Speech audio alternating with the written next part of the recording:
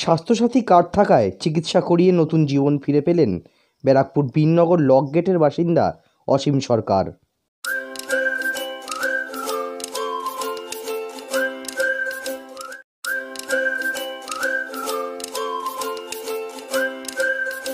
গত আটই ফেব্রুয়ারি গভীর রাতে বুকে অস্বাভাবিক যন্ত্রণা নিয়ে ইছাপুর আনন্দমঠ এলাকার চিকিৎসক সুজন দেবনাথের কাছে চিকিৎসা করাতে যান ব্যারাকপুর বিননগর লক গেটের বাসিন্দা অসীম সরকার। তার প্রাথমিক চিকিৎসা করে দেখা যায়, তার হৃদযন্ত্রে সমস্যা রয়েছে। এরপর তাকে প্রথমে ব্যারাকপুরের এক বেসরকারি হাসপাতালে নিয়ে যাওয়া হয়। সেখান থেকে কলকাতার বাইপাসের ধারে এক বেসরকারি হাসপাতালে নিয়ে যাওয়া হয় পরিবারের তরফে। কিন্তু আর্থিকভাবে অসচ্ছলতার কারণে চিকিৎসা কীভাবে করাবেন সে বিষয়ে চিন্তায় ছিলেন গোটা পরিবারের সদস্যরা। কিন্তু তাদের হাতে ছিল স্বাস্থ্যসাথী কার্ড। সেই কার্ড দেখিয়ে হাসপাতালে ভর্তি করা হয় অসীম সরকারকে। এরপর চিকিৎসা করতে গিয়ে দেখা যায়, হৃদযন্ত্রে দুটি ব্লকেজ রয়েছে। হাসপাতালের তরফ থেকে জানানো হয়, পরের দিনই তার অস্ত্রোপচার করা হবে। সেই মতো করা হয় অস্ত্রোপচার। স্বাস্থ্যসাথী কার্ড থাকায় সম্পূর্ণ বিনামূল্যে চিকিৎসা করানো সম্ভব হয়। এরপর তাকে সম্পূর্ণ সুস্থ অবস্থায় বাড়ি ফিরিয়ে আনা হয় ব্যারাকপুর বিননগর লক গেট এলাকায়। নিজের বাড়িতে বসে স্বাস্থ্যসাথী কার্ডের সাহায্যে সম্পূর্ণ বিনামূল্যে চিকিৎসা পরিষেবা পাওয়ার জন্য মুখ্যমন্ত্রী মমতা বন্দ্যোপাধ্যায়কে ধন্যবাদ জানান অসীম সরকার। তিনি আরও জানান, যদি স্বাস্থ্যসাথী কার্ড না থাকতো, তাহলে হয়তো তার চিকিৎসা করানো কোনোভাবেই সম্ভব হতো না। বাইরে মানে ফেরি করতাম। লকডাউনের আগেই আমি বাড়িতে চলে এসেছিলাম, মহারাষ্ট্রে ছিলাম আমি, পুনেতে। সেখান থেকে আসার পরে লকডাউন শুরু হয়ে গেছে। এক বছর ধরে বাড়িতে বসে আছি বেকার। মনে কোনো কাজের কোনো ই নেই কোনো কিছু নেই বহুত টেনশনের মধ্যেই ছিলাম আমি হয়তো। সেই টেনশন থেকেই এইটাই আমার ধারণা যে এইটা হয়েছে। এই হট করে বুকে ব্যথা বুকে ব্যথা দুই চার দিন এরকম বুকে ব্যথা একদিন তো ডাক্তার দেখালাম। ডাক্তার দেখিয়ে বলল যে গ্যাসের প্রবলেম আছে, গ্যাসের প্রবলেমে ওষুধ খেয়ে একদিন ভালো ছিলাম, দ্বিতীয় দিন আবার বিকেল দুপুর বেলার থেকে আবার সেই বুকে ব্যথা শুরু হলো। তখন ওই ডাক্তার কাছে গেলে আবার আমাকে ইসিজি করতে বলল। ইসিজি করার পরে দেখা গেল যে রিপোর্টটা ভালো নয়। তখন আমার বাড়ির লোক কী করল, এই যে পঞ্চায়েত থেকে যে কার্ডটা স্বাস্থ্যসাথী কার্ড দিয়েছিল, এই কার্ড নিয়ে আমাকে আপনার হলদিরাম ভিআইপিতে ওখানে একটা বেসরকারি নার্সিং হোমে আমাকে নিয়ে যায়। ওখানে ভর্তি করে। ওখানে ভর্তি করার পর, সব টেস্ট করার পর দেখা গেল যে আমার দুটো ব্লকেজ হয়ে গেছে।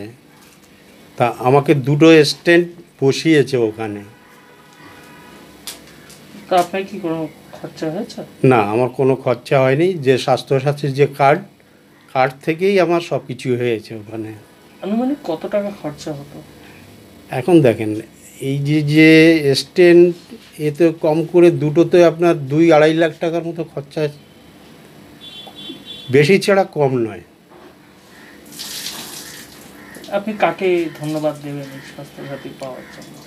আমি সবচেয়ে প্রথমে দেব মমতা দিদিকে, যে উনি